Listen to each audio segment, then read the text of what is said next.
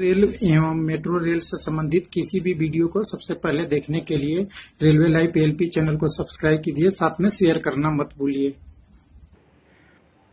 Hello दोस्त, railway LP CBT three का psycho का डेट कल है। तो आज के लिए थोड़ा कैंडिडेटों के लिए थोड़ी सी समझावना और थोड़ा सा प्रयास कि हो सकता है कि कौन से टेस्ट में गलती होने की संभावना है, उसी पे थोड़े से बात करेंगे। और एग्ज़ाम पे फोकस किस बात पे करना है? फाइव बैटरी टेस्ट है, जिसमें सत्रह अलग अलग टेस्ट है। तो कुछ लोगों का यही सवाल आता है कि क्या पहले वाले ही पाँच टेस्ट आएँगे या और भी बैटरी टेस्ट जो बचे हुए हैं बदल के दिया जा सकता है? तो यहाँ पे ध्यान दीजिएगा, रेलवे पूरी तरह से आपके इंडिपेंडेंट है, कुछ भी दे सकता है, लेकिन पैटर्न आपका दिया हुआ है, उसी में से रहेगा। लेकिन ध्यान देने वाली बात यह है कि नंबर ऑफ़ प्रश्न किसी भी कंडीशन में चेंज नहीं होगा। क्योंकि जब नॉर्मलाइजेशन का फॉर्मूला इन्होंने एक ही बनाएँगे इसलिए एक ही टाइप के आपको टेस्ट देंगे। तो सबसे ज़्यादा फोकस उस बा, उस बात को हमें करना है रीशेड्यूल एग्ज़ाम में कि जैसे ट्रैक मेमोरी के बारह बारह करके हमारे दो प्रश्न चौबीस आए थे तो हो सकता है ट्रैक मेमोरी के जगह पे हाउस मेमोरी दे दिया जाए। ऐसे ऐसे सभी टेस्टों की बात करेंगे क्योंकि शेड्यूल एग्जामिनेशन का प्रश्न चेंज हो सकता है टाइप चेंज हो सकता है, लेकिन प्रश्न नहीं चेंज होगा। नंबर ऑफ़ प्रश्न उतना ही रहेगा। एग्ज़ाम की टाइम इकहत्तर मिनट है, वो इकहत्तर मिनट ही रहेगा। जैसा शेड्यूल है, सब कुछ सेम रहेगा, क्योंकि अगर ऐसा आरआरबी करेगा चेंज तो उनके लिए मुसीबत बन जाएगी। बाद में क्वालि नंबर कैलकुलेट करने और टी स्कोर कैलकुलेट करने में। तो यहाँ फोकस किस किस बात पे करना है, उसी की संभावना के बाद आपके साथ बात करते हैं। और कैंडिडेट को लिए best of luck for success और जैसे ही आपका एग्ज़ाम होगा तो कमेंट बॉक्स इसके लिए ओपन है। ज़रूर डालिएगा, कैसा एग्ज़ाम हुआ, कौन सा टेस्ट आया, कैसे हमारी संभावना रही, हमारी प्रिपरेशन कैसा रहा तो कुछ लोगों का आता है। एग्ज़ाम से पहले बहुत कमेंट आते हैं, लेकिन एग्ज़ाम के पास शायद केवल सवाल आता है एक्चुअल कंडीशन नहीं आता। तो चलिए इसके बारे में बात करते हैं। तो एक्चुअल हम एक्चुअल कंडीशन हम बात करेंगे टेस्ट में कहाँ ध्यान देने की बात है। तो जो लोग जल्दीबाजी में रहते हैं, जिनके पास कम टाइम है, उनके लिए सबसे पहले मैं एक बार क्लियर कर दूँ यहाँ पे, थोड़ा सा एडजस्ट करके स्क्रीन तो यहाँ पे सबसे पहले मैं क्लियर कर देता हूँ कैंडिडेट को कि सबसे बड़ी बिग फैक्टर क्या चेंज हो सकता है। नोट कर लीजिएगा बिग फैक्टर और कह सकें सरप्राइज़ फैक्टर और कह सके आश्चर्यजनक फैक्टर क्या चेंज हो सकता है। उस फैक्टर की बात सबसे पहले कर लेते हैं, उसके बाद टेस्ट की बात करेंगे। तो पिछले हम एग्ज़ाम देखे थे, उसमें ब्रिक टेस्ट में सरप्राइज़ फैक्टर था। कौन सा फैक्टर सरप्राइज़ था कि प्रश्न संख्या वन, टू, थ्री, फोर लिखने के जगह पे A B C D E होनी चाहिए थी। प्रश्न संख्या एक ब्लॉक में इतने बी ब्लॉक में इतने सी में फोर में ऐसा। लेकिन यहाँ पे एक के बाद बी के बाद यहाँ पे डी या ई e और सी और भी अदर पैटर्न कोई डाला गया था। इसके अलावा भी कोई अलग अलग करके पैटर्न डाल दिया गया। जिससे कैंडिडेट ने क्या किया? ए का प्रश्न तो सोल्व किया ए में टिक लगा दिया बी का किया बी में लगा दिया सी का किया डी में लगा दिया। यही हुआ है उल्टा कंडीशन तो इसको एक ध्यान रखना है।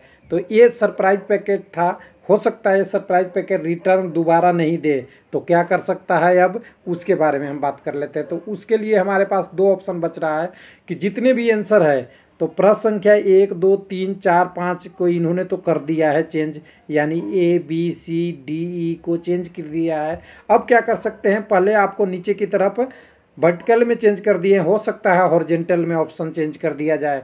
यानी ऑप्शन तो यहाँ सरप्राइज़ पैकेट की बात हुई तो सरप्राइज़ में देखिएगा, हो सकता है पहले ए ऑप्शन के बाद आपको सी मिल जाए बी मिल जाए, उसके बाद डी के जगह पे ई मिल जाए और ए हो जाए। तो हो सकता है यहाँ पे सीक्वेंस इस तरह से बन जाए ए सी बी ई डी या और भी कोई।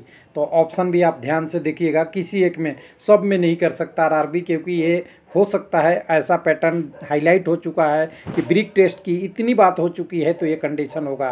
तो चलिए ये कंडीशन तो हमारे पास चेंज हुआ है। अब उसके बाद हमारे पास दो तीन कंडीशन और की बात हो रही है, जिसमें हम दो कंडीशन और की बात करेंगे यहाँ पे। तो दूसरी कंडीशन देखिएगा, पहली कंडीशन हम ट्रैक मेमोरी की बात करते हैं। तो पहली बार में ट्रैक मेमोरी आ चुका है। अब इसके रिप्लेसमेंट में फिगर पोजीशन टेस्ट दिया जा सकता है, जिसमें आपका कह रहे हैं लोग हाउस बिल्डिंग वाला भी पॉसिबल है, क्योंकि सेम के सेम बारह नंबर प्रश्न, बारह नंबर प्रश्न, यहाँ चौबीस हो जाएँगे प्रश्न। तो बिल्कुल ये टेस्ट पॉसिबल है, इस टेस्ट को आप ध्यान रखिएगा। बाकी फिगर मेमोरी फिगर फाइंडिंग और फिगर नंबर वाला ये टेस्ट है, लेकिन उसके प्रश्न संख्या अलग हो सकते हैं, जिस कारण से पोजीशन यही दोनों हो सकता है। लेकिन प्रिपेयर आप माइंड से ये नहीं रहिएगा कि यही टेस्ट आएगा, कोई भी आ सकता है। लेकिन नंबर ऑफ़ प्रश्न में ज़्यादा चेंज नहीं होगा। उसके बाद हमारे पास अगले टेस्ट की बात करेंगे, मेमोरी टेस्ट के बाद हमारे पास दूसरा टेस्ट था, बैटरी टेस्ट नंबर टू। यहाँ सबसे ज़्यादा प्रबल संभावना वाच टेबल टेस्ट की अभी भी बनी हुई है, क्योंकि ये प्रश्न 20 नंबर की है। जब आप रो और कॉलम टेस्ट के लेंगे तो इसमें होता है 10 प्रश्न। अगर 10 प्रश्न को इनको लेना पड़ेगा तो 10 10 जोड़ के इनको 20 करना पड़ेगा। तो रो कॉलम का अगर आएगा तो इसमें भी बीस आएगा। और यहाँ भी ध्यान दीजिएगा, हो सकता है नंबरिंग में कोई चेंज कहीं ना कहीं हो जाए, क्योंकि ब्रिक टेस्ट में इस बार चेंज होना या नहीं होना सरप्राइज़ नहीं है। सरप्राइज़ है किसी और टेस्ट में प्रॉब्लम होना। उसके बाद हमारे पास चौथे, तीसरे नंबर का टेस्ट तो तीसरे नंबर का टेस्ट आपके पास है ब्रिक टेस्ट तो ब्रिक टेस्ट में तो दो ही टेस्ट था, एक ब्रिक टेस्ट था, दूसरा आपका हिडन क्यूब यानी छुपा हुआ घन था। छुपा हुआ घन और ईट टेस्ट में दोनों की टाइमिंग में डिफरेंस है। ध्यान दीजिएगा टाइमिंग के डिफरेंस होने के कारण से इसमें पॉसिबिलिटी है कि आपकी ब्रिक टेस्ट ही आएगा। अगर आपका हिडन क्यूब यानी ब्रिक छुपा हुआ घन आएगा तो नंबर ऑफ़ प्रश्न चेंज करके टाइम एडजस्ट किया जाएगा। प्रश्न को उतना पचास रखने की कोशिश किया जाएगा, लेकिन हो सकता है टाइम का चेंज होगा। तो यहाँ पे ये कंडीशन बिल्कुल एलिमिनेट हो रहा है कि हिडन क्यूब नहीं आएगा, हमारा पर्सनल अनुमान है। जनरली ब्रिक टेस्ट पे ही कंसेशन करेगा, क्योंकि इसके लिए पाँच मिनट और दस मिनट दोनों अलग अलग टाइम हो रहे हैं। तो यहाँ पे हो गया। उसके बाद हमारे पास बचता है दो टेस्ट और। दो टेस्ट में सबसे ज़्यादा सरप्राइज़ आने की मुझे चांस है। अनुमान की बात बता रहा हूँ मैं, किस लिए? कि यहाँ पे आपका जो आपका ये वाला आया है figure position placement figure placement test आया है, जिसमें साठ प्रश्न आए हैं सात मिनट में करने में। यहाँ एक बहुत बड़ी सरप्राइज़ फैक्टर है, क्या? A B C D E कहा जाता है कि ए ज़ीरो अगर रहेगा मतलब कोई चेंज नहीं रहेगा तो हमारा आंसर ए रहेगा। अगर दो चेंज होगा तो बी होगा, तीसरा होगा तो सी होगा और चार चेंज होंगे तो डी होगा और चार से ज़्यादा चेंज नहीं होगा। लेकिन यहाँ पे ऑप्शन एक हमें लग रहा है ए वाला को डी में ला देगा बी वाला सी में ला सकता है। बी और सी में नहीं चेंज कर देगा डी को कह देगा। अगर एक चेंज होता है तो ए दो चेंज होता है तो बी थ्री चेंज होगा तो सी और डी अगर चार चेंज होंगे तो कोई नहीं चेंज होगा तो डी इस तरह से अलग अलग कैटेगरी में कुछ भी दे सकता है। तो इसके लिए आपको हमेशा इंस्ट्रक्शन पढ़ना है और सबसे बड़ी बात टेस्ट है, इसमें केवल यही फिगर प्लेसमेंट की ही पॉसिबिलिटी सबसे ज़्यादा है। डिजिट सर्च और ये दोनों अलग अलग पैटर्न है और अलग पैटर्न रेलवे लेने की कोशिश नहीं करेगा क्योंकि इनको अभी टी स्कोर भी बनाना है। तो यहाँ पे तो फोर डी है। उसके बाद हमारे पास पाँचवें नंबर वाला फिगर है, जिसमें हमें लिया गया है समान आकृति मिनाल में ऑक्टागोनल कुछ लोग हेक्सागोनल भी कहते हैं, लेकिन एक्चुअल वो ऑक्टागोनल होता है। अब इसमें सरप्राइज़ लाइक कुछ है नहीं, यहाँ पे प्रश्न संख्या ऊपर नीचे कर देता है या कम कर देता है, तब भी दिक्कत नहीं है। समानता फिगर इसमें दो फिगर और है। समानता, परीक्षण और समानताकृति मुश्किल रेयर चांस है, क्योंकि इस प्रश्न और इस प्रश्न में दोनों की टाइमिंग बहुत अंतर है और इकहत्तर मिनट में एडजस्ट करना इस टाइमिंग को प्रश्न की संख्या अगर कम ज़्यादा करते हैं, तभी पॉसिबल है। तो यहाँ पे ध्यान देने वाली बात है कि आपको ऑक्टागोनल ही टेस्ट है। तो कुल मिला के आपको यहाँ विजिलेंस होना है पूरी कंडीशन में। तो मेरे तरफ़ से एक लाइन रहिएगा पहला चेंज हो सकता है ऑप्शन ऑप्शन में चेंज हो सकता है, दूसरा आपका चेंज हो सकता है सीक्वेंस में।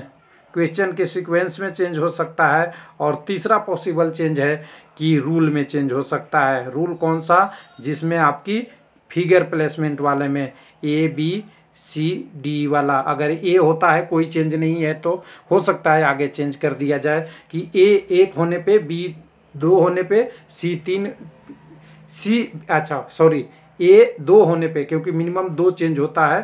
बी तीन चेंज होने पे सी चार चेंज होने पे डी कोई चेंज होने पे नहीं।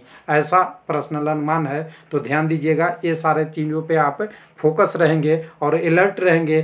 चाहे प्रश्न पाँच कम हो, कोई दिक्कत नहीं है। अगर पचास प्रश्न के बदले आप पैंतालीस करते हैं, तब भी कोई प्रॉब्लम नहीं है, लेकिन सही करना इसलिए है कि जितना आप कर सकते हैं, कुछ लोग कहते हैं कि सही नहीं करना नेगेटिव पूरा लेना है। तो कैंडिडेट मैं हमेशा बोला हूँ कि 30 से 40 परसेंट बना के आपको फेल होने से अच्छा है कि 100 बना के आइए।